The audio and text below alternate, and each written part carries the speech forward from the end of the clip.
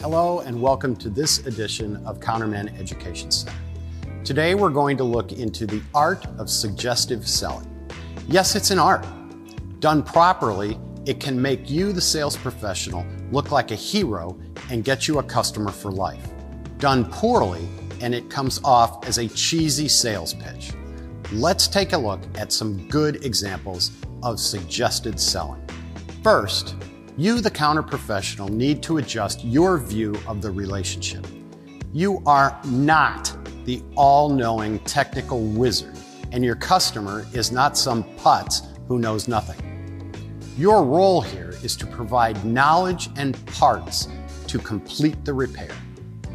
Maybe they have done a million brake jobs, or maybe this is their first. Either way, they both need the same things. Taking the brake example, is it just disc brakes or does it include drum brakes? What do they need to complete the repair? Parts, of course, but depending upon the setup, they may need bearings, seals, and grease. If seals are required, a tool to drive the seal in place is needed along with a new cotter key. Drums? Then several tools are required to remove the shoes and the springs. If discs, then how are they going to compress the caliper back in? Speaking of calipers, do they need new calipers? Disc brakes require a special lubricant for slides and contact points on the pads. Even if you're dealing with one of your professional customers, a quick reminder can save another delivery and downtime for them. How are they set for brake cleaner? Everybody uses it, but we're all just a half a can away from being out.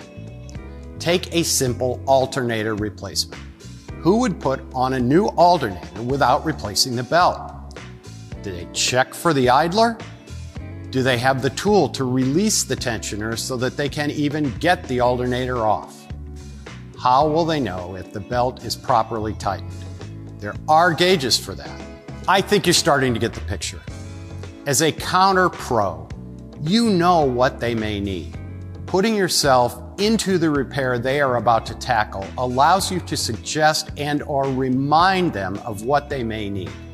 There is a very fine line between overselling and offering suggestions or reminders. This is a service you can offer that they will appreciate when they realize they have everything they need to complete the repair the first time. Everyone knows how aggravating it is to realize you need to stop and make another trip to the parts store or wait for a delivery to finish the repair. Keep your customers loaded with what they need and they will thank you for the suggestions. Thanks for being with us and have a great day.